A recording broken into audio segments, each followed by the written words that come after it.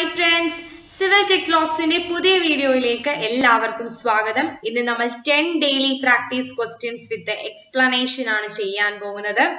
ആദ്യമായിട്ടാണ് നിങ്ങൾ എന്റെ ചാനൽ കാണുന്നതെങ്കിൽ സബ്സ്ക്രൈബ് ചെയ്യുക. കൂടുതൽ വീഡിയോസിന്റെ നോട്ടിഫിക്കേഷൻ കിട്ടാൻ ബെല്ലൈക്കൺ പ്രസ് ചെയ്യുക.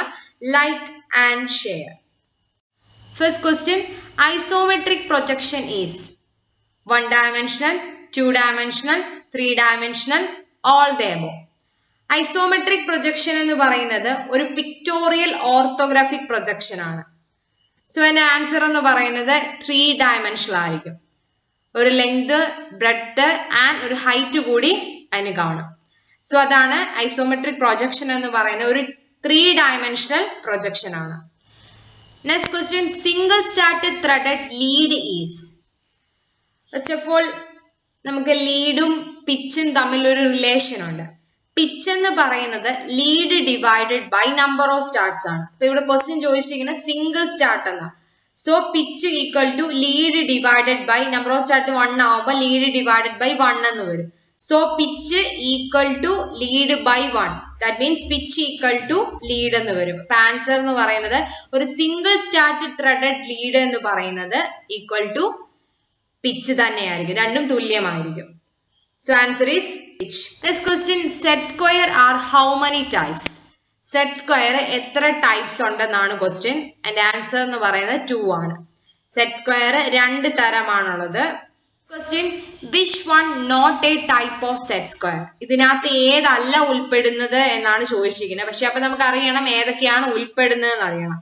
അപ്പൊ ഫസ്റ്റ് സെറ്റ് സ്ക്വയർ നേരത്തെ ക്വസ്റ്റ്യൻ പറഞ്ഞ പോലെ രണ്ടെണ്ണമായിട്ട് തിരിക്കാം. അത് ബേസ് ചെയ്യുന്നത് അതിന്റെ ആംഗിളിന്റെ ബേസിസിലാണ് it's according to the angle present on each ആ സൈഡിലുള്ള ആംഗിളുകളുടെ ബേസിസിലാണ് സെറ്റ് സ്ക്വയറിനെ രണ്ടായിട്ട് തിരിക്കുന്നത്. Forty five forty five ninety thirty sixty ninety ഈ രീതിയിലായിരിക്കും രണ്ടായിട്ട് തിരിച്ചിരിക്കുന്നത് അപ്പൊ ഇതിനകത്ത് പെടാത്ത ഏതാന്ന് ചോദിച്ചു കഴിഞ്ഞാൽ ക്വസ്റ്റിനകത്ത് ഫോർട്ടി ഫിഫ്റ്റി നയന്റി ഡിഗ്രീസ് ആയിരിക്കും. അപ്പൊ മനസ്സിലാക്കിയിരിക്കണം സെറ്റ് സ്ക്വയർ രണ്ട് തരമുണ്ട്. ആംഗിൾസ് എന്ന് പറയുന്നത് ഫോർട്ടി ഫൈവ് ഫോർട്ടി ഫൈവ് നയന്റിയും തേർട്ടി സിക്സ്റ്റി ആൻഡ് നയന്റി ഇതാണ് രണ്ട് ടൈപ്പ് സെറ്റ് സ്ക്വയർ എന്ന് പറഞ്ഞത്. Next question for lettering which pencil is use നമ്മൾ ലെറ്ററിങ്ങിന് ഉപയോഗിക്കുന്ന പെൻസിലാണ് അത് അറിഞ്ഞിരിക്കണം. ഉപയോഗിക്കുന്ന പെൻസിൽ എച്ച് പെൻസിലാണ് എച്ച് പി അല്ല ടു ബി അല്ല ടു എച്ച് അല്ല. ഉപയോഗിക്കുന്ന എച്ച് പെൻസിലുകളാണ് ലെറ്ററിങ്ങിന് വേണ്ടി. Question specific gravity of O P C is O P സിയുടെ സ്പെസിഫിക് ഗ്രാവിറ്റി ആണ് ക്വസ്റ്റ്യൻ അത് ചോദിച്ചിരിക്കുന്നത്.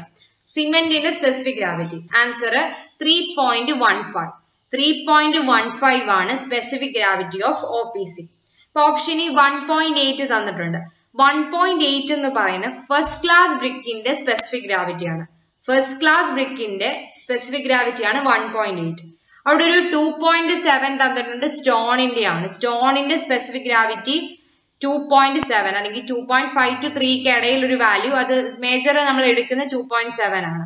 So three specific gravity of cement ചോദിച്ചാൽ ത്രീ പോയിന്റ് വൺ ഫൈവ് ആണ്. Next question percentage of silica in cement സിമെന്റിലെ സിലിക്കയുടെ പെർസെന്റേജ് സിലിക്കയുടെ percentage മാത്രമല്ല എല്ലാത്തിന്റെയും പെർസെന്റേജ് നമ്മൾ അറിയണം. സിമെന്റിന്റെ ഇൻഗ്രീഡിയൻസ് ആദ്യം അറിയണം. Lime silica alumina calcium sulphate iron oxide magnesia sulphur alkali. ഇത്രയും ഓർഡർ അറിഞ്ഞായെങ്കിൽ നമ്മൾ ഇപ്പുറത്തേത് പെട്ടെന്ന് പഠിക്കാം. Sixty two twenty two five four three two one one അങ്ങനെ കാണാൻ പഠിച്ചു കഴിഞ്ഞാൽ നമുക്ക് കിട്ടും അത്. Sixty two twenty two five four three two one one so സിലിക്കയുടെ എത്രയാന്ന് ചോദിച്ചാൽ ട്വന്റി ടു പെർസെന്റേജ് ആണ്. അപ്പം ലൈമ് അതും ഇമ്പോർട്ടന്റ് ആണ്. ലൈമും ചോദിച്ചിട്ടുള്ള ക്വസ്റ്റ്യൻ ആണ്. സിലിക്ക ട്വന്റി ടു ആണ്. ആൻസർ ട്വന്റി ടു ബാക്കി എല്ലാത്തിന്റെയും നമ്മൾ പെർസെന്റേജ് കൂടി അറിഞ്ഞിരിക്കണം.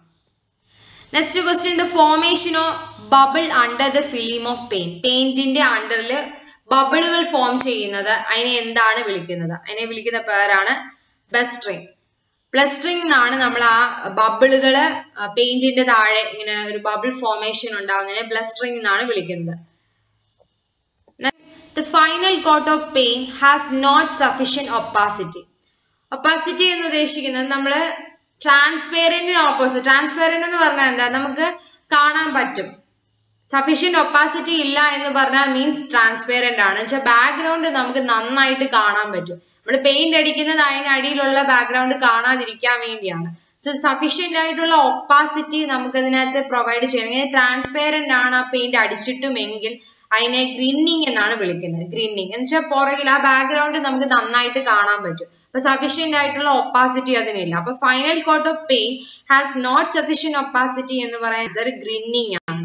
So answer is grinning last question one M cube of cement is dash bags one M cube ആണ് ക്വസ്റ്റ്യൻ അത് ചോദിച്ചിരിക്കുന്നത്. വൺ എം ക്യൂബ് സിമെന്റ് എന്ന് പറയുന്നത് എത്ര ബാഗാന്ന് ചോദിച്ചു കഴിഞ്ഞാൽ തേർട്ടി ബാഗ്സ് ആണ്. ഒരു എം ക്യൂബ് എന്ന് പറയുന്ന അത് തേർട്ടി ബാഗ്സ് ആണ്. Thirty bags so thank you for watching the video